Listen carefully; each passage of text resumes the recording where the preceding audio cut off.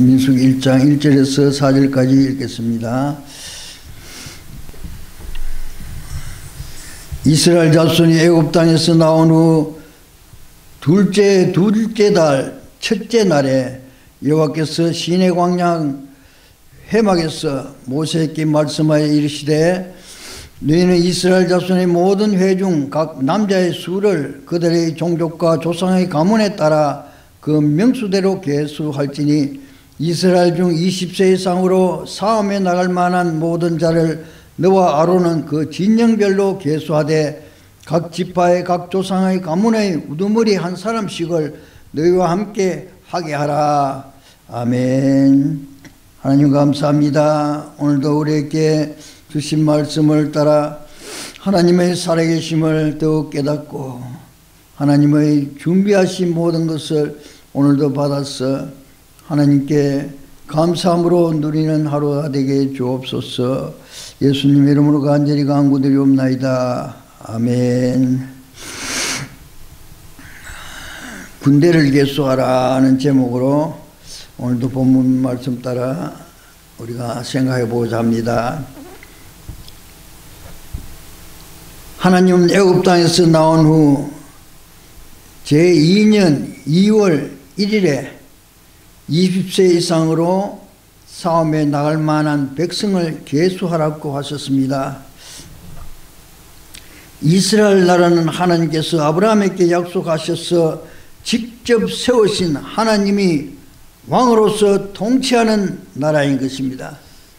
그러므로 하나님께서 영광을 받으시기를 원하셨습니다. 그러나 이스라엘 백성들은 애굽에서 우상을 섬기는 그것밖에 몰랐습니다. 그래서 하나님은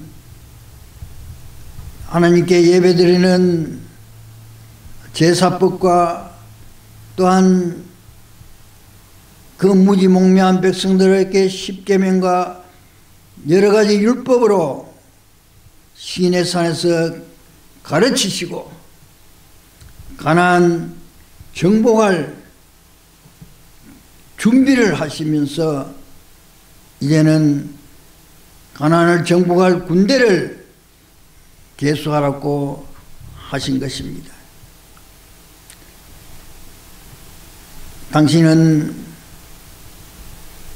군대 조직도 없고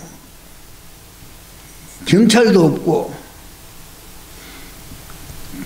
정말로 어떻게 그 많은 무리들을 이끌어냈는지 그것을 생각하면 참 의아하기도 합니다. 하나님 말씀이라 하고 백성들에게 지시하고 질서를 지키라고 한다고 참 지키질 것도 아닌데도 그 이스라엘 백성들을 잘 이끄는 거 보면은 하나님의 직접적인 간섭을 이스라엘 백성들은 다 깨달았고 하나님의 살아계심을 알았다는 것을 우리는 보게 됩니다. 하나님은 구약 성경에서 이스라엘의 관계를 하나님과 이스라엘 관계를 남편과 아내로 관계로 표현하기까지 했습니다.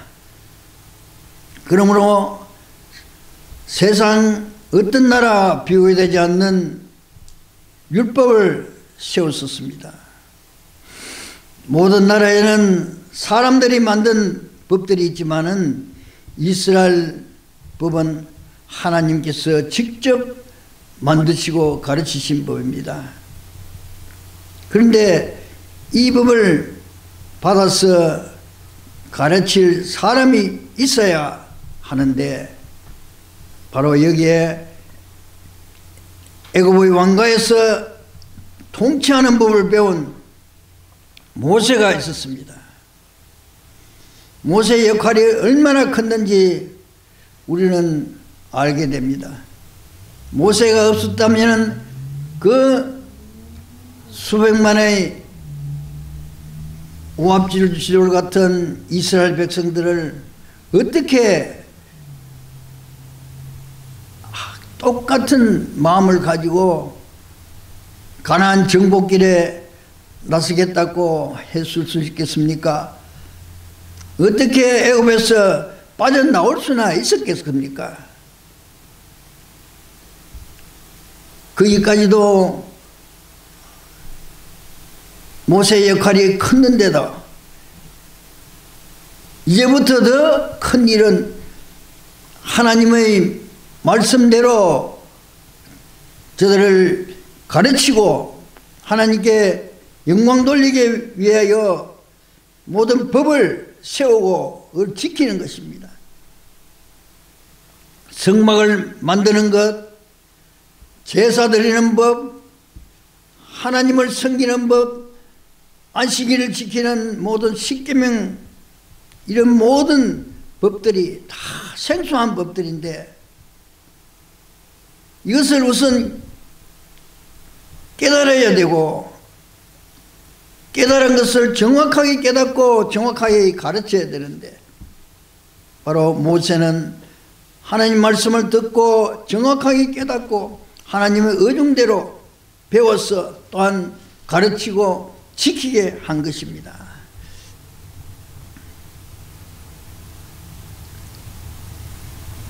이 모세가 이 놀라운 역할을 우리는 새삼스럽게 깨닫게 되는 것입니다. 우리가 신약의 성경에서도 바울 사도가 있었기 때문에 그로 말미암아 우리는 예수 그리스도를 정확하게 믿게 된 것이 아니겠습니까? 사도 바울은 가말리의 문화에서 구약에 통달했고 당시 최고의 문화인 헬라 문화의 학자로 지식이 있었기 때문에 복음이 오늘날 우리에게 정확하게 전달된 것이 아니겠습니까? 만약 바울 사도가 없었다면 참으로 오늘날 신세계와 같은 이단들이 판을 쳤을 것이고 지금은 우리가 어떤 복음을 믿어야 될지 분간 못하는 그런 때가 왔을지 모르겠습니다. 이와 같이 바울 사도의 그 한 사람의 역할이 복음을 정통으로 우리가 하나님 뜻을 바로 알고 가르치게 하는데 큰 일을 한 같이 모세가 있었음으로 인하여 이스라엘 백성들이 하나님의 법을 바로 알고 지킬 수 있은 것입니다. 이 하나님의 법을 하나님께서는 모세를 통하여 일목요연하게 가르치시고 이제 시내산을 떠나서 가난 정복에 나서야 되는데 이 정복군을 통제하며 군대를 편성하기 위하여 백성들을 계수하게 한 것입니다. 이 전쟁은 하나님께서 지시하신 것이요 약속하신 것이요 그러므로 하나님 말씀에 순종하기만 하면 반드시 승리하게 되어 있었습니다.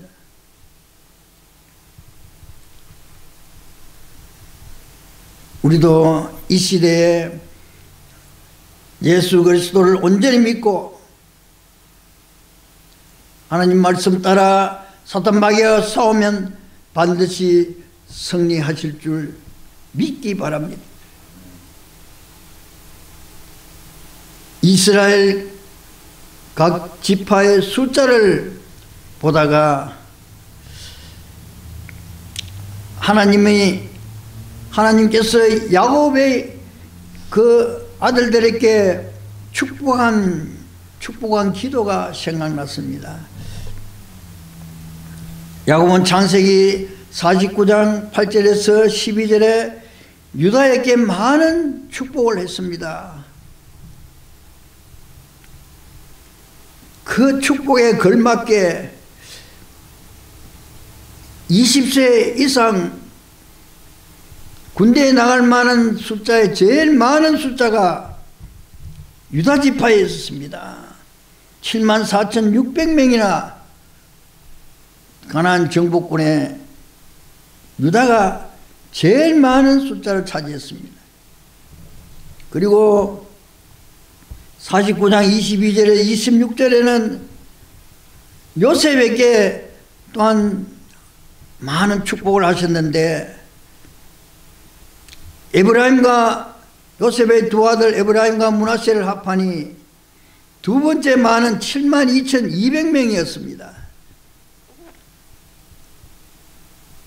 훗날 유다는 남유다의 다윗 왕과 그 계통을 이은 음, 남쪽의 나라의 대표 집하고 에브라임은 북이스라엘의 대표 지파인 것을 보게 됩니다.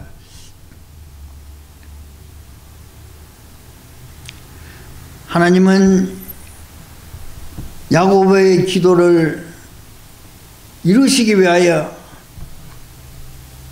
들어주시기 위하여 그 자손들에게 이런 번창하는 것을 보게 됩니다. 오늘날 우리에게도 하나님은 기도를 들어주실 것입니다. 우리도 자손들에게 기도하고 저들을 위해 축복하면 하나님께서 반드시 응답해 주실 것을 믿기 바랍니다. 그러므로 우리는 자손들을 위하여 항상 축복 기도하며 우리가 못다한 일 자손들의 주를 위하여 수임받고 그 일을 다 이루기를 예수 이름으로 축원합니다.